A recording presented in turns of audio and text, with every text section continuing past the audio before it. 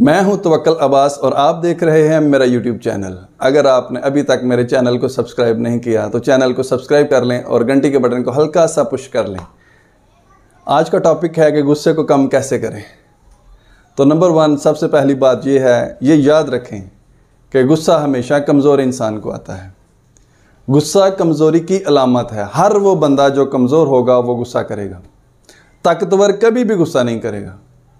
हम दुनिया में जो रह रहे हैं, वो कौन सा जुल्म है, वो कौन सी बुराई है, वो कौन सी ज़्यादती है जो हम नहीं कर रहे?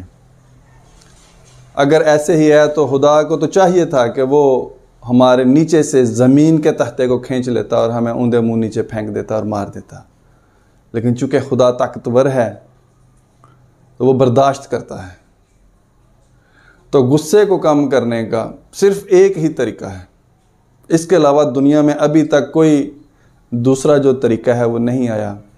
अगर कौमों को, मुल्कों को, मिसाल के तौर पे आप देखें कि इस्लामी दुनिया 57 कंट्रीज़ हैं सतावन ममालक मुसलमान मुल्क हैं, और दूसरे नंबर पे जिसको थर्ड वर्ल्ड कहा जाता है, तीसरी दुनिया, जो तरक्की पजीर भी नहीं है, वो नीचे है।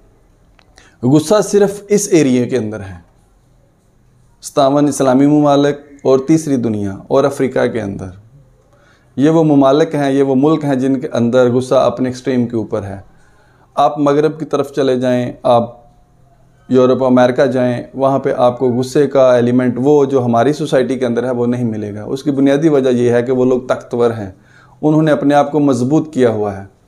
अगर आप गुस्से को कंट्रोल करना चाहते हैं, अपने इनफरादी तौर पे, अपने ख़ानदानी तौर पे, अपने माशरे में तो आप को अपने आप को ताकतवर करना पड़ेगा।